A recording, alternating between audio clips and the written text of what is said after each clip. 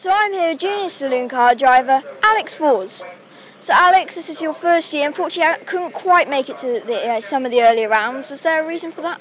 Uh, well, the car was last run in uh, 2007, and we were just taking time to uh, re uh, facelift the front, obviously, because the front's changed to the car, and just get little bits like fuel tank and seat and belts updated, really.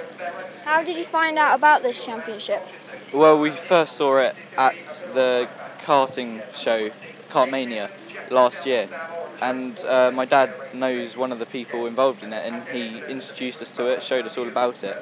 And I'd done a bit of karting before that, and we are just getting a bit fed up because uh, we didn't have enough money to get new tyres every single time, and there are other people who were getting all these new tyres, so couldn't really compete, but was still getting third and fourth. And up until the last round, uh, we had third in the championship.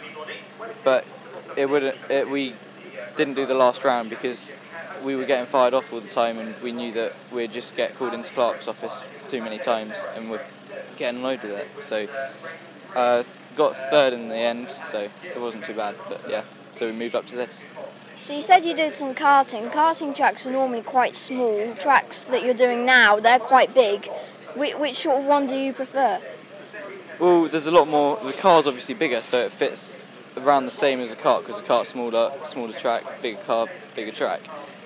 But obviously you've got more uh, space and more braking to do because the car's going faster, and it's a lot more flowing. This uh, faster tracks where you've got more space to have runoff, so you know you can push it harder. Now you're still in school. What do all your uh, schoolmates think about all this? They're they're really supportive of it. They really show an interest in it. They uh, got a couple coming down today to watch me, and they're hopefully gonna have a look at it and enjoy their day. Now, where do you hope to be by the end of the, your time in the junior saloon cars? I hope to be at the front of the grid and really pushing for the championship win. Thank you very much for your time, Alex, and good luck for today. Thank you too.